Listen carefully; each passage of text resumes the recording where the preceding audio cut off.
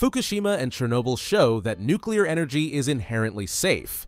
Fukushima melted down and killed no one. Chernobyl exploded and still killed far fewer than expected. Three Mile Island failed completely, and no one died. That's not a disaster. That's a miracle in modern energy. Fukushima's direct radiation death toll is zero, confirmed by science. The fire at Chernobyl killed 28 first responders.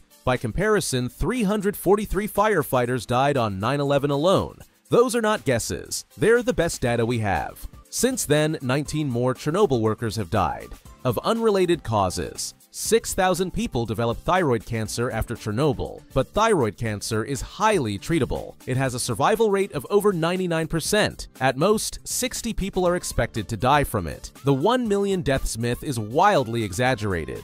Top researchers say that estimate is off by 1 million. The WHO's number 4,000 future deaths is based on a flawed model. It's called LNT. LNT claims there's no safe level of radiation. That's false. People living in Colorado get more radiation than most nuclear workers.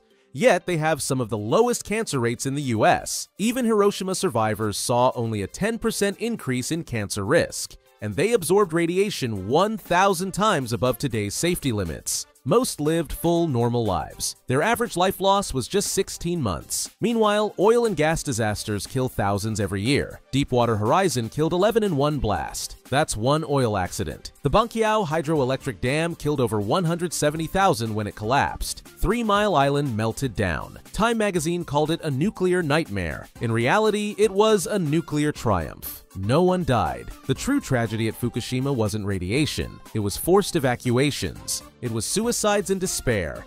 The government treated radiation like poison.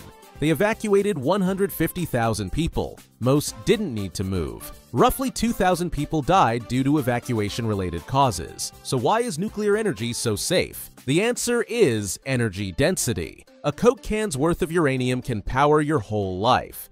Nuclear power uses less fuel, emits less pollution, and saves more lives. Even meltdowns release only tiny amounts of radiation. Air pollution kills millions each year. Nuclear energy does not even come close. Building more nuclear plants will save lives, not cost them.